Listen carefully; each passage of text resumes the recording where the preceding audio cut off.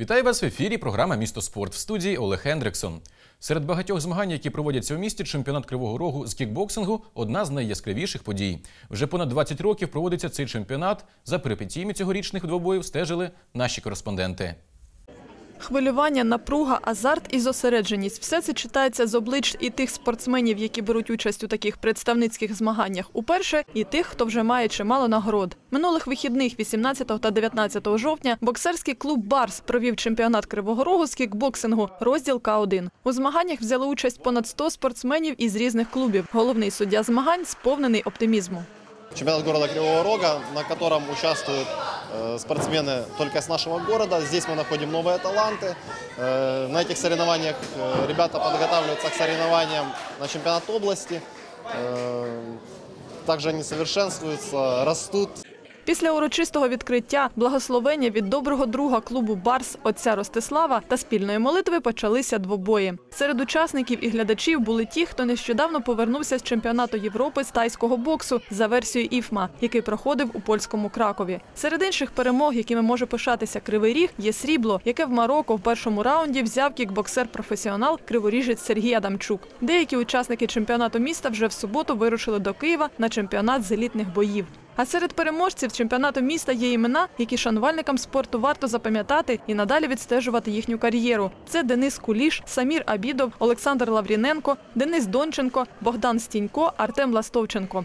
Кожен учасник чемпіонату ще не раз відчує і радість перемоги, і, можливо, гіркоту поразки, і бойову нічию із рівним собі суперником.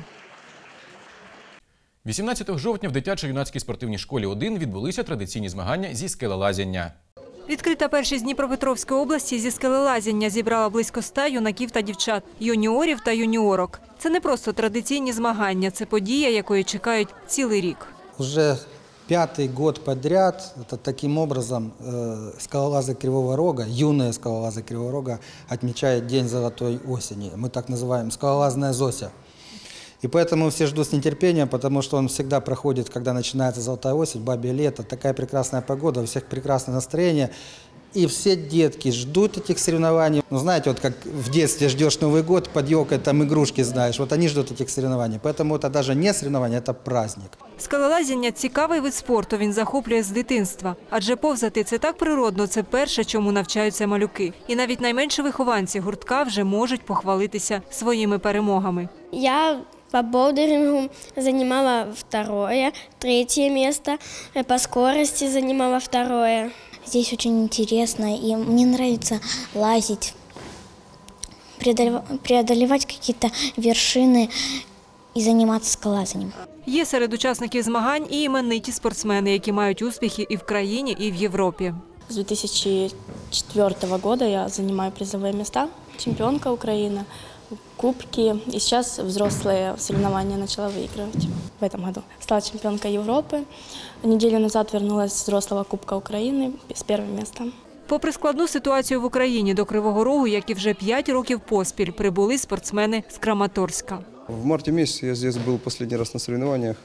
Потом работа моя была, будем сказать, парализована в связи с э, военными действиями в городе Краматорска. Начались в апреле месяце обстрелы. Ну, С каждым днем они усиливались. Дети выехали с мамами за черту города, некоторые Украины. Я занимался в военное, будем говорить, время строительством зала в городе Краматорске для детей Болдриного. Загалом у змаганнях взяли участь понад 100 спортсменів з Кривого Рогу, Дніпропетровська, Нікополя. У цьому місті дуже сильна школа скалолазіння, а також представники Харкова, Херсона і Кіровограда. Займатися скелелазінням не просто корисно для здоров'я, це ще й романтичний вид спорту. Тренуються хлопці і дівчата не тільки тут, у залі ДЮСШ номер 1 В Кривом Роге мы с малышами ездим на скалы Мопра. У- В северной части города у нас есть Красный мост, это бывший. Там занимаются люди, очень замечательно построили стенд на одной из колонн моста. А почему на Балеши? Потому что три раза в год мы ездили в Крым на скалы. И на все каникулы и летом на месяц мы ставили палатки, уже лесник нас знал, все на «ты». Ну, представляете, вот палатки, костер, э, небо в огнях, я имею в виду, ну, в звездах, озеро горное и скалы, и море видно. Ігор Неізвісний вірить, що юні спортсмени ще тренуватимуться у Кримських горах. І за сприяння в проведенні нинішніх змагань дякує людині, яка завжди підтримує наших скелелазів. Эти детские соревнования, которые мы называем «Золотой осенью скалолазания», уже четвертый год подряд э, проходят при поддержке депутата Криворожского городского совета Сергея Смелова. Огромное человеческое спасибо. Вот, знаете, честно, огромное человеческое. Такими були останні спортивні новини. З вами був Олег Хендриксон. До нових зустрічей на телеканалі Рудана.